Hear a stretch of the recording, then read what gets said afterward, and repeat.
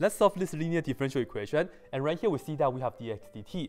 This tells us that x is the dependent variable and t is the independent variable. And right here we also have x to the first power only, right? There's no other place that has the x or dx or not. This right here is indeed a linear differential equation. So let's get into the formula we want first. That means we should divide everything by t squared, right? So let's go ahead and do that.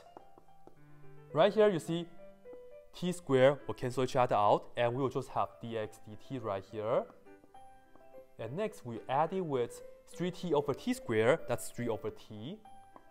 And we put the x on the side, and this is equal to t to the fourth power over t squared. We have t squared, and then that's ln of t, and this is plus 1 over t squared. And now we are ready to find the integrating factor, right? This is the p that we want. In this case, this is the p of t, which is 3 over t. And let's find the mu. Mu of t, in this case, is e raised to the integral of 3 over t power, like this. And what the dt? All right, e is just the e. Let's put on a 3.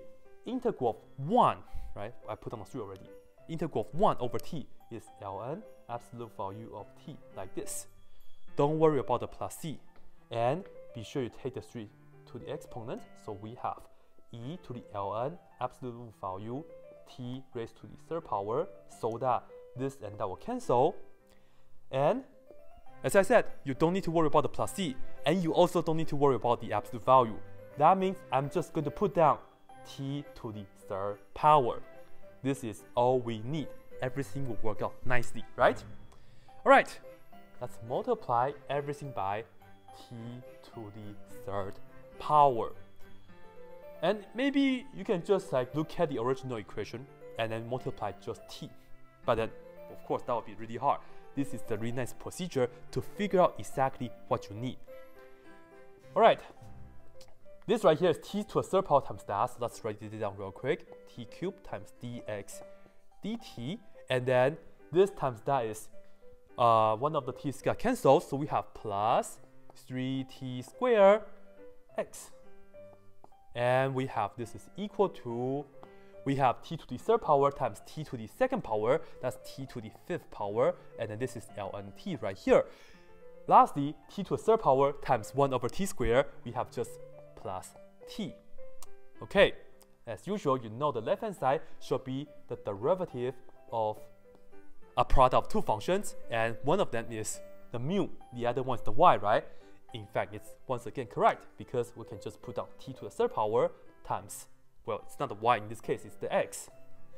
So, you see, if you differentiate t to the third power times x, you first put down t to the third power, and you multiply by the derivative of the x, which is dx dt, and you keep the x, and then you differentiate this, which is 3t squared, and you add it with that. So great. and you write this down, t to the fifth power, ln of t, and then we add a t after that. Of course, integrate both sides, right? So that this and that will cancel. And on the right hand side, it's easy. We just have t to the third power times x, and don't put down the plus c yet, just do that on the right hand side and this is equal to, we have integral of t to the fifth power times ln t. For this, we have to do integration by parts, right? And I will show you guys with the DI method. So let's do it right here. So I will write this down again. This is just for the integral t to the fifth power times ln of t, okay? And I have to choose something to be differentiated and pick something to be integrated. And we must have the plus minus on the side, right? Well, let's think about what should we pick to be integrated first. Should I integrate t No, because in order for us to integrate t from scratch, we have to do another DI method. So, I'm going to integrate t to the fifth power. Be sure you always pick something to be integrated, that's something that's easy to be integrated first, okay? And then right here, we'll just choose ln t to be differentiated. It's pretty easy to differentiate ln T, right? It's just 1 over T.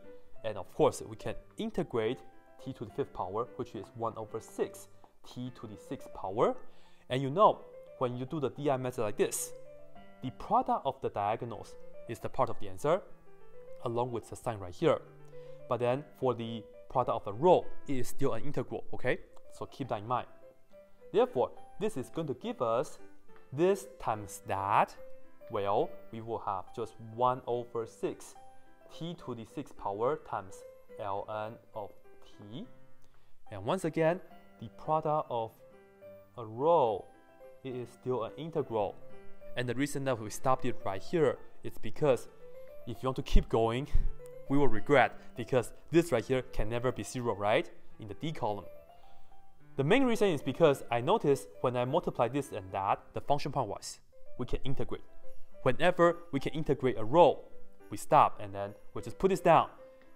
Be sure you attach the sign up aside right here, okay?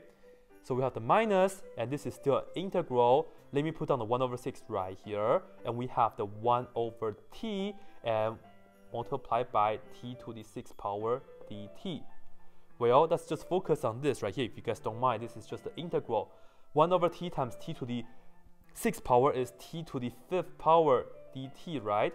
So, by looking at this, I will have to do this again. So this is just uh, put on blue. So this is just another 1 over 6 t to the 6th power. Okay? Alright, I will put everything down in blue right here for the integral of this. We will have this, which is 1 over 6 t to the 6 power times ln t. And we subtract. We have a 1 over 6 right here, and times this 1 over 6, we have 1 over 36.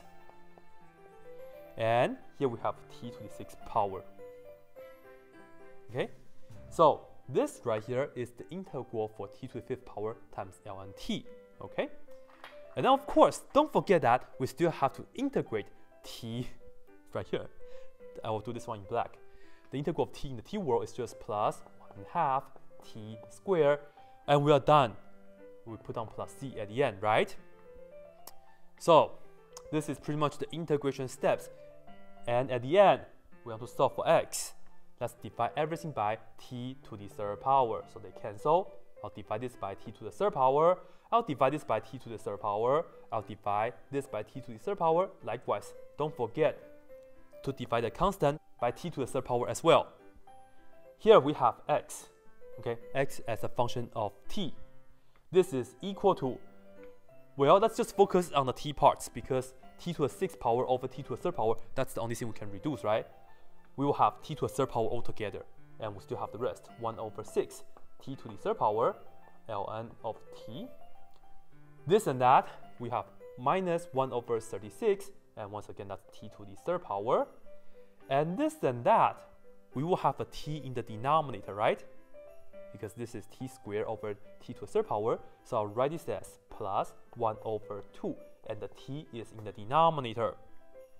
At the end, we have plus c over t to the third power. And this right here is the general solution. However, we have to solve for the c because we do have the initial value. So let's go ahead and do that. Be sure to do this carefully though. The input is the independent variable, which is t in this case. When t is 1, x will be 0. So let's see if I can fit in everything we have 0 for x, and this is equal to 1 over 6 times t is 1 to the third power times ln of 1, and then minus 1 over 36 times 1 to the third power plus 1 over 2 times 1. Okay, this is my parentheses. And we have plus c over 1 to the third power. Okay, this is 0 this is equal to ln 1 is also 0, so whole thing right here is 0.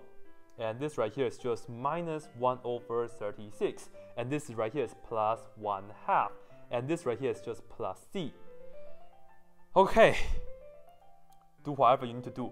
Uh, you pretty much just add the fractions here, right? So of course, I'm not going to show you guys how to add or subtract fractions.